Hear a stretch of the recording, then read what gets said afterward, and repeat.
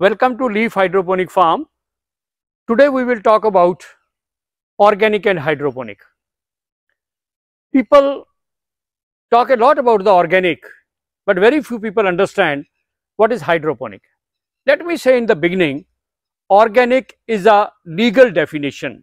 You have a set of listed criteria through which you can designate any crop as organic that you should not have sprayed anything or applied any fertilizer for such a long time.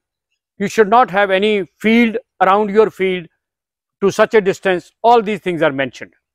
True, in hydroponic these things are not mentioned. Let me give you one example. Now a car, it has got many brands. Mercedes is not Maruti or Toyota, but both are different and both are equally good. So you cannot say that organic is superior than hydroponic. Hydroponic is the way of producing food which is most environment friendly. Nothing goes into the environment, no fertilizer goes into the environment, no pesticide, insecticide, even if you are to spray, it goes into the environment. And there is a list of uh, these insecticide and pesticide which can be spray on sprayed on organic and which can also be sprayed on the hydroponic. Now the question rises, why the hydroponic is not designated as organic? Recently, a judge in USA very categorically said that he has, that I have visited many hydroponic farms. Some of them are much cleaner than the drawing rooms. So you cannot say that the hydroponic is inferior to organic in any way. Secondly, there is a committee in United States which declares what kind of food is the organic food. Same committee has declared hydroponic now as equal to the organic food because the method of production of hydroponic is far far superior than the method of production of the organic food.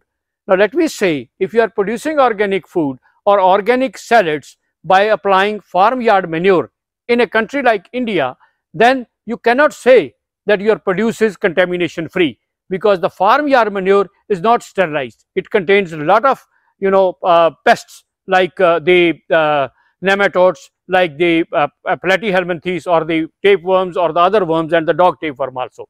The eggs of these worms go into the food by splashing through the rains. So then when you are eating the salad, if it is not properly cleaned, then the egg can find a way into your intestine and from there into your bloodstream and go to any place.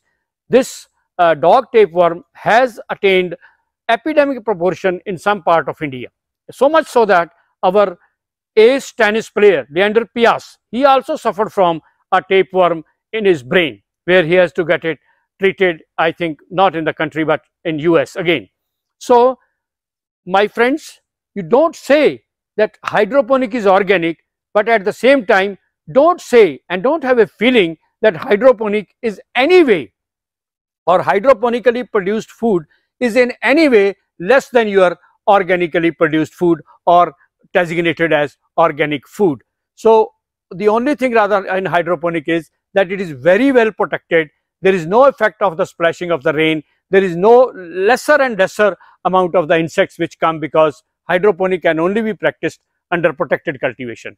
So my friends, don't get or don't compete with organic. Let the organic people say that they produce organic. Let the hydroponic people say that we produce hydroponic. Both are equally good both are comparable and none is less than the other. That is one thing very, very important which should go and while purchasing your food, the customer should also ensure that they produce what is eatable, what is not contaminated, what is free from insect and pests, what is free from the tapeworms, uh, uh, eggs or the cysts.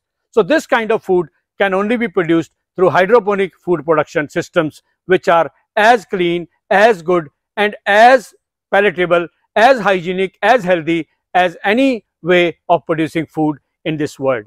Thank you very much.